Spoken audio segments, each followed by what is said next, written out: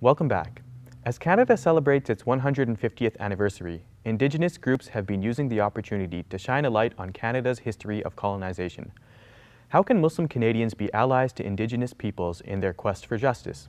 Joining me to discuss this is Dr. Abdullah Hakim Quick. Dr. Quick has worked with Indigenous communities in Inuvik in the Northwest Territories and in Iqaluit, Nunavut.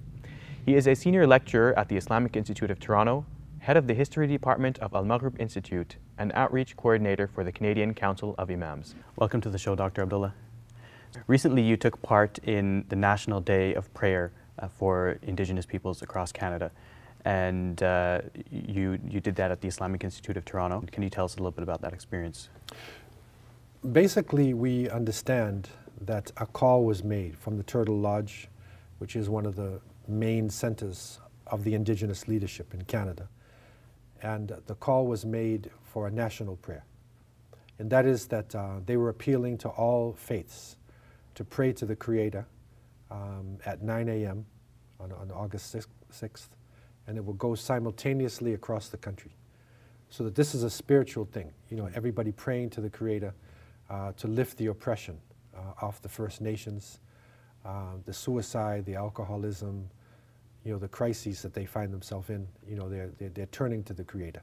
So we responded to that call, you know, as believers in God and in solidarity uh, with uh, the oppressed people, you know, from the First Nations. Uh, we responded along with people of different faith groups mm. right across the country. Now, Sunday morning is not usually a busy time at the mosque. Was, did you have a good turnout?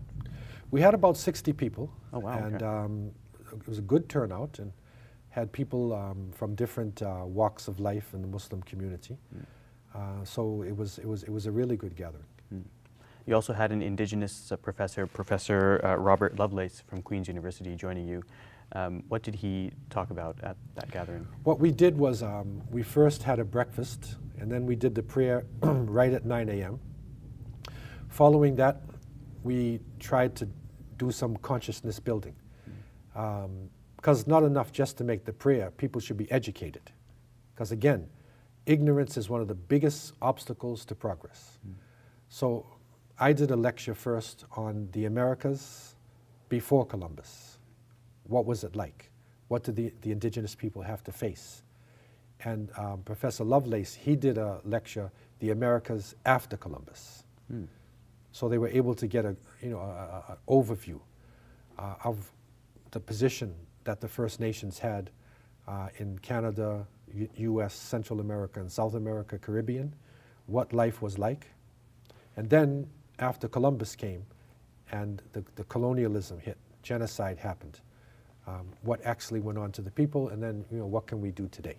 Now I understand that you've um, went up north to Inuvik in the Northwest Territories and also Iqaluit in Nunavut, and you've uh, um, met with uh, indig indigenous people peoples there. Um, what are what are some of the takeaways that, that you've um, taken from your travels and from um, working with indigenous peoples? What we are recognizing is that um, the indigenous people have a natural closeness and affinity to Islam. And um, aside from the fact that it is important for us to give back to society, if we have, then we should be giving to the have-nots. Mm. But aside from that, um, they have a natural closeness uh, to Muslims. And, and, and, I was surprised to find uh, amongst the people of the North and also the um, First Nations people, um, the, the, what you could call the indigenous, you know, because you have, you know, this Indian word is not a good word. Columbus, you know, bumped into America on his way to India mm. and called the people Indians.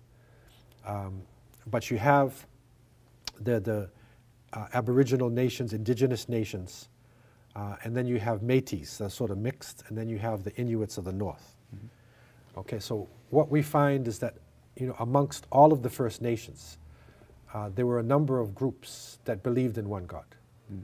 where directly th there is um, clear monotheism. Mm. And, and, and that's important for Muslims.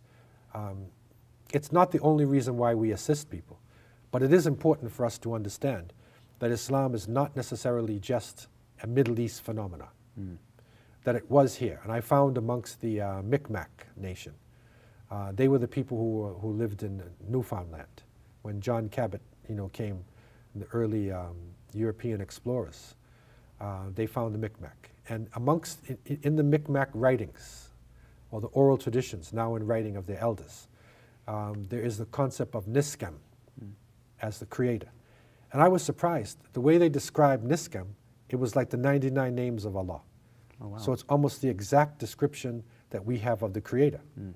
So based on that and the fact that in the chapter of the Bee, verse 11, that Allah said He sent prophets and messengers to every nation and every tribe, mm-hmm. uh, that's Islam. So, so Muslims were already here. Mm. There was people who submitted to the Creator already here in this part of the world, and they were living in a fitra, or natural state. And you see that in the north, where they were able to um, make this adaptation. It's an amazing story. Mm. Just think 15,000, 20,000 years ago, people leaving Siberia, and now there's a land passage, and they cross into Alaska, and some go into the north, some go down the coast. They come into a continent, and there's no human beings at all. This is like somebody landing on the planet Mars, and you have to survive. Mm.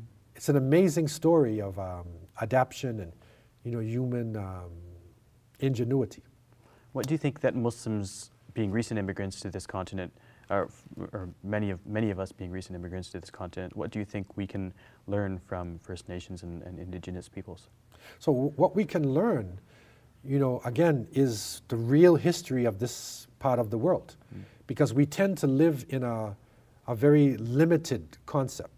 When we say the Confederation of 150 years, mm. uh, which is important, and we're thankful to be here. Mm. But this is 10 to 20,000 years people have been living here. Mm. And what we understand is that there's thriving societies, uh, even that the Confederation, what they call the Six Nations Confederation uh, of the Iroquois, this is the basis of the Constitution of the United States. Um, the Anishinaabe uh, people, you know, here in this region, Mississaugas, uh, the people who became the Mississaugas, they are the ones who basically lived in this area before we came. Mm. And when they would cross Lake Ontario, and they would see trees standing up in the water. Takaranto, they would call it, mm. which means the land, the place where the trees are standing up in the water. Mm. So that's literally, the, that's where Toronto comes from. Okay? And um, they were the ones that controlled this territory. And the French took over, the British took over, and treaties were made. So there were treaties made with the indigenous people. And one of the bases of the treaties is, is that the people who take over are supposed to be custodians of the land. You know, they had a concept similar to the Islamic one that human beings are like Khalifa in the sense of you are custodian of God, you are representative of God. You don't own land, you take care of the land because we don't stay here. We live and we die. Mm. So we're custodians of the land. So this concept of I own this piece of land is not in, in, in their thinking they gave over the territory because they were dying from disease. 90% of their population died from, from TB, tuberculosis, and smallpox and other diseases that the Europeans brought. So they had to survive. And it's okay, you take over now, you be the custodians.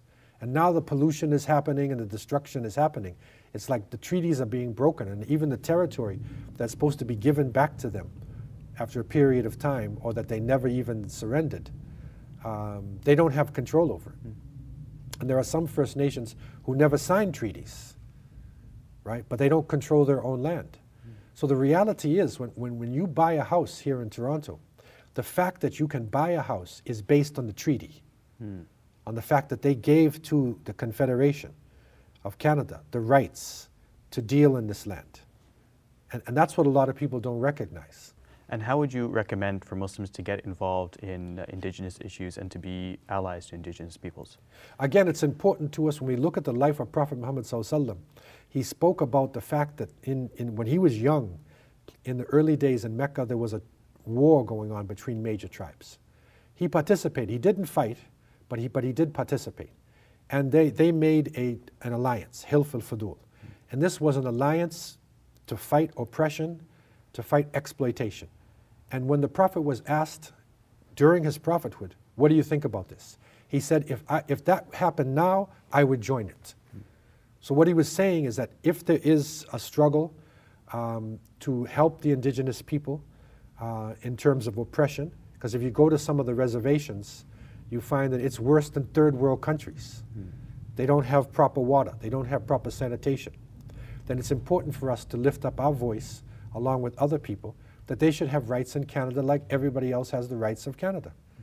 Um, secondly, from our sadaqah, um, our charity, and our zakat, this is our charity that we give every year. We need to give some, you know, some, you know, to solid projects supporting the First Nations, whether it be, you know, meals, education, uh, clean water. Uh, there's a number of groups now uh, in the Metro uh, Toronto area that are actually getting involved. And, and, these are important projects. We're not just talking about superficial things. Mm. And we need to share information, bring in First Nation Indigenous teachers so that our children and our community can know the real history of this country. And also share information. So this is important for us uh, at this point in time. Okay, wonderful. Thank you so much, Dr. Abdullah. Hey YouTube, we hope you benefited from this video. If you liked it, or if you didn't, let us know in the comments below. And if you're interested in learning more, check out some of our other videos. And don't forget to subscribe so you can get new videos every Monday, Wednesday, and Friday.